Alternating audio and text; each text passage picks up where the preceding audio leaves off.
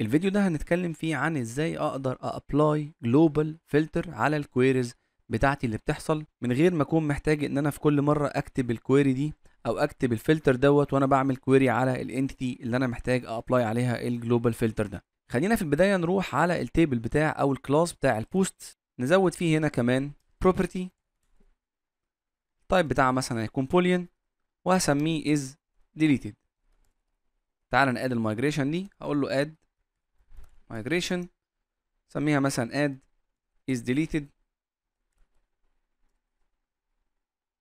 to posts table. تلاحظ كده إن هو بي add column لل table بتاع ال posts اسمه is deleted ال type بتاعه في ال database هيكون bit وال default value هتكون false فمفيش مشكلة في ال data اللي موجودة دلوقتي هتت apply كلها عليها ب false وبعد كده هقول له update dash database. تعال نرجع على ال table ده في ال database نشوف شكله عامل إزاي دلوقتي. هقول له view data.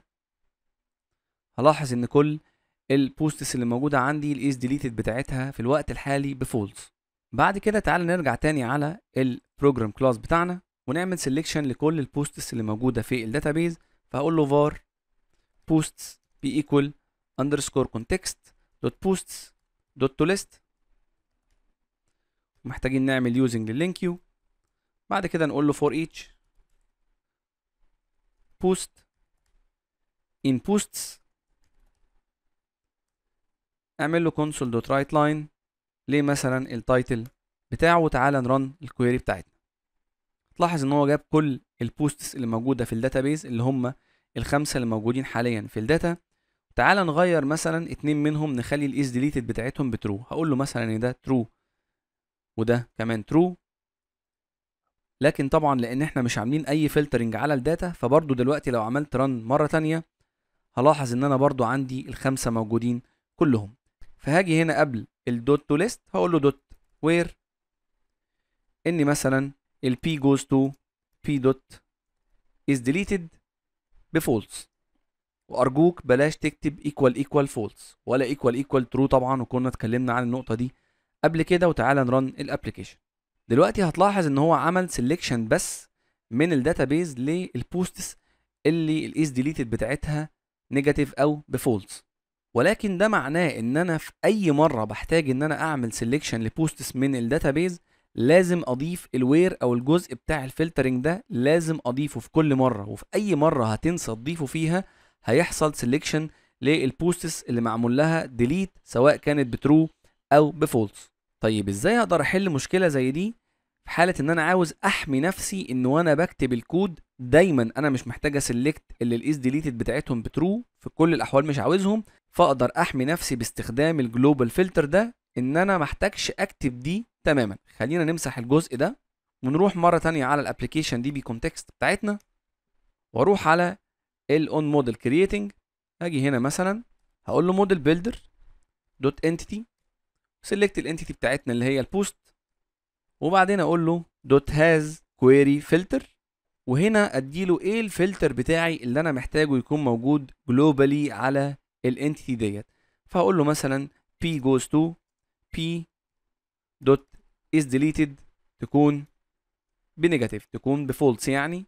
وتعالى نرجع تاني هنا عشان نتأكد إن إحنا مسحنا ال where خالص ونعمل run مرة تانية.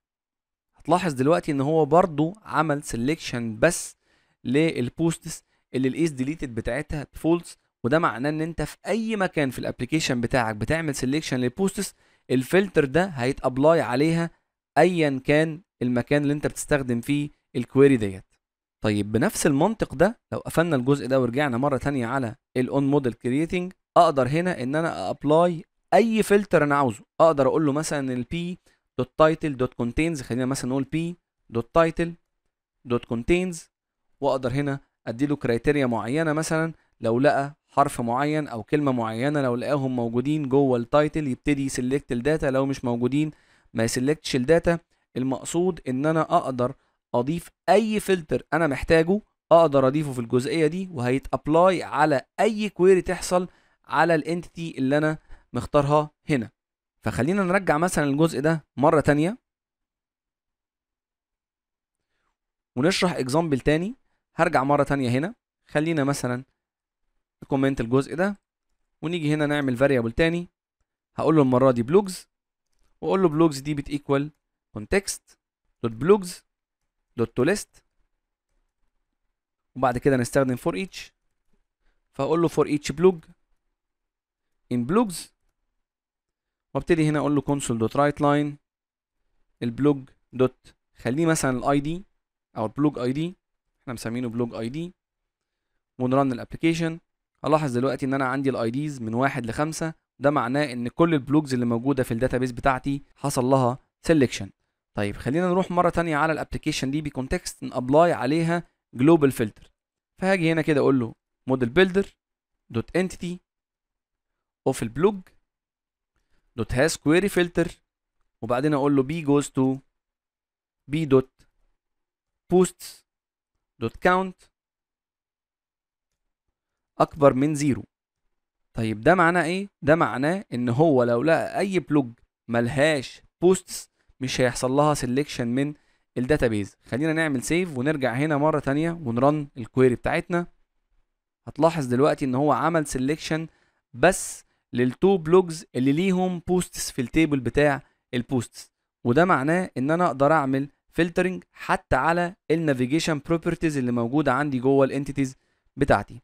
طيب آخر نقطة حابين نوضحها هنا هي لو أنا حبيت أعمل query لكن محتاج فيها إن أنا ألغي أو أعمل ignoring يعني لل global filter اللي إحنا ضفناه في ال application DB context بتاعتنا. خلينا الأول نقفل ال application ونيجي هنا. إحنا المرة دي لما عملنا run اختار عندنا بس ال two blogs اللي ليهم posts علشان ال global filter لو محتاج ignore ال global filter ده هاجي هنا بمنتهى البساطة أقول له dot ignore query filters